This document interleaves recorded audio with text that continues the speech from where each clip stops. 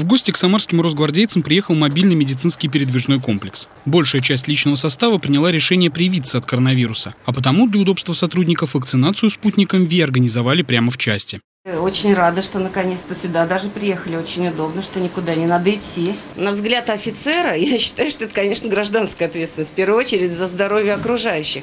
А как человека нужно уже и позаботиться, когда о своем здоровье, здоровье прежде всего своей семьи. Медицинская процедура прошла в соответствии со всеми необходимыми требованиями безопасности. Непосредственно перед вакцинацией личный состав Росгвардии прошел необходимый медицинский осмотр, а также получил подробные медицинские рекомендации, которые необходимо соблюдать после прививки. Вакцина-профилактика – это самый э, простой, самый надежный, самый безопасный и эффективный метод э, борьбы с э, новой коронавирусной инфекцией, с этой пандемией.